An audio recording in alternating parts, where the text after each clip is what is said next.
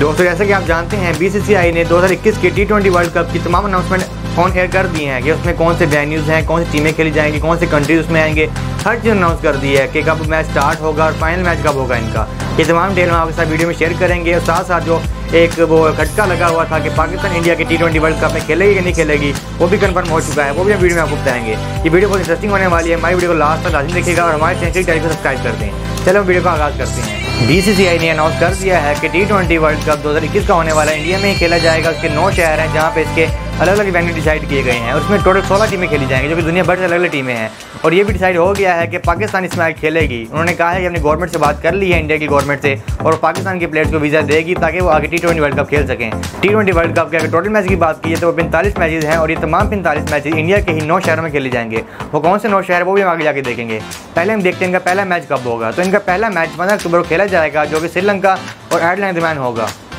T twenty world cup का final match पंद्रह नवंबर दो इक्कीस को खेला जाएगा, जो कि सरदार पटेल स्टेडियम में खेला जाएगा, जिसका नया नाम नरेंद्र मोदी इंटरनेशनल स्टेडियम है, जो कि अहमदाबाद में और बहुत ही खूबसूरत स्टेडियम है। अगर बात की जाए टी ट्वेंटी वर्ल्ड कप में कौन कौन सी टीमें हैं जिसमें सोलह टीमें खेलेंगी और उन सोलह टीमों का आपको नाम बताता हूँ। दोस्तों नंबर एक पर है इंडिया, उसके बाद है पाकिस्तान। पाकिस्तान के बाद Australia, England, South Africa, New Zealand, West Indies, Afghanistan और साथ साथ श्रीलंका।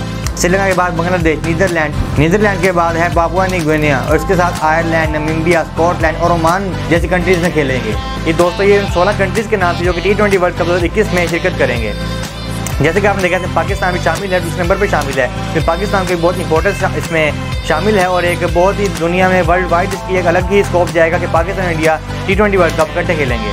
अगर बात की जाए कि कौन से नौ शहरों में खेला जाएगा तो तमाम इंडिया के नौ शहर में आपके साथ बताता हूँ। दोस्तों, अगर वेन्यूज़ की बात कीजिए तो वो नौ शहर हैं जहाँ ये टी ट्वेंटी वर्ल्ड कप के पैंतालीस मैच खेले जाएँगे। वो कौन से नौ शहर हैं इंडिया के, मैं आपको बताता हूँ। तो दोस्तों टी ट्वेंटी वर्ल्ड कप दो हज़ार इक्कीस की अगर नौ वेन्यूज़ की बात की जाए तो उनमें नंबर वन पर आता है मुंबई। मुंबई का वाकर स्टेडियम बहुत मशहूर है, वहाँ पे आईपीएल मैच खेले जा रहे हैं और साथ साथ उन्होंने T twenty world cup match खेलने की भी तैयारी शुरू कर दी है।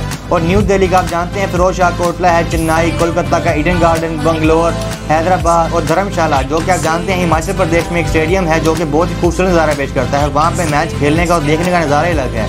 उसके बाद अहमदाबाद और लखनऊ, इन नौ शहरों में टी ट्वेंटी वर्ल्ड कप के मैच खेले जाएँगे।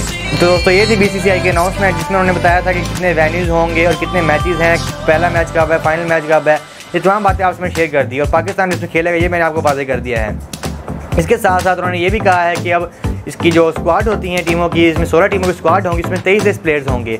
और उसकी वजह भी उन्होंने बताई है, इसकी वजह ये है क्योंकि अगर किसी वजह से कोरोना के हालात, जैसा कि आप जानते हैं, बहुत ज़ोरों पर है कोरोना का कोई मसला बन जाता है, कोई इंसान को प्लेयर्स को इंजरी हो जाती है तो अगर दोबारा कोई नया प्लेयर बुलाना पड़ता है तो उसको क्वारंटाइन करना पड़ेगा हफ़्ता के लिए, दस दिन के लिए तो फिर उसके लिए मुश्किल होगा मैच एक तरतीब से खेल पाना। इसलिए उन्होंने हर टीमों में पहले से ही तेईस प्लेयर्स का वो ऐलान कर दिया है कि तेईस प्लेयर्स पहले से ही हो, ताकि अगर किसी को इंजरी हो जाए, ना आ सके तो वो फ़ौरन से रिप्लेसमेंट हो जाए और कोई भी नुकसान ना हो टाइम का। दोस्तों ये थी अनाउंसमेंट जो बी ने अनाउंस की और मैंने आपसे शेयर कर दी है। उम्मीद है आपको हमारी वीडियो पसंद आई होगी। ऐसी और सी नई वीडियो जानने के लिए हमारी जानकारी को सब्सक्राइब कर दें।